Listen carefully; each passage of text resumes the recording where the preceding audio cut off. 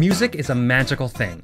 It can transport us to a different time and place, give us focus, or convey emotions that we can't with words alone. But did you know it can also defend us against one of mankind's greatest enemies?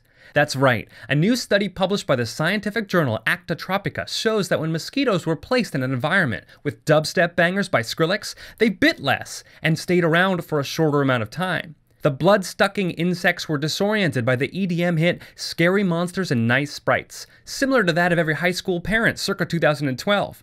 Like attendees at a music festival, these raver bugs consumed less human blood than they probably would have had they just stayed home. This is just a single study and every study has limits. Researchers used just one song to run this experiment, but would we have similar effects with other music? Would my bangin' mashup of Hall & Oates and the DuckTales theme song also disarm these little bloodsuckers? Or would it act as a powerful aphrodisiac, similar to the Atrax effect in humans? We can't say for sure.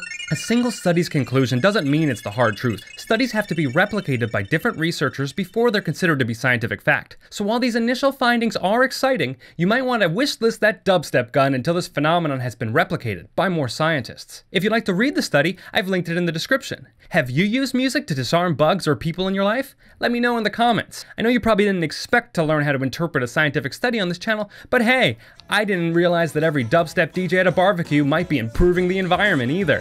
Thanks for watching Producer Quest.